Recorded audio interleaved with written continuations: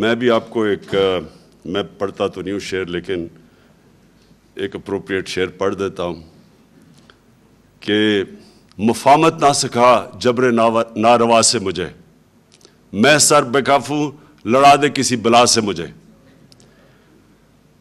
کبھی بھی پلیز مجھے کرپٹ لوگوں سے جنہوں نے اس ملک کو لوٹ کے پیسہ باہر لے کے گئے ہیں، پلیز مجھے ان سے مفامت کرنے کا نہ کہیں۔ اس لیے کہ میرا آج ملک جب میں ایک ایک ایک ایک ادارہ کھول کے دیکھتا ہوں، اس کے پیچھے کرپشن ہے۔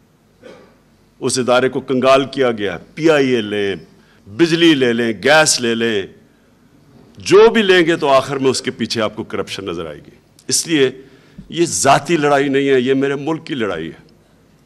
اور ملک اوپر جو گئے ہیں، چائنا جو آج اوپر ترقی کر گئے، ساڑھے چار سو وزیروں کو انہوں نے جیل میں ڈالا ہے پانچ سالوں میں۔ وہ اتنا کامیاب ملک تھا نہ ان کو نہیں ضرورت، نہیں کرپشن کے پیچھے جاتے۔ اور اسی طرح آج امریکہ کے اندر آپ دیکھیں، یا کوئی بھی ملک پر تیس تیس سال کے بعد وہ جن لوگوں نے کرپشن کیا، ان کو پکڑ کے جیل میں ڈالتے ہیں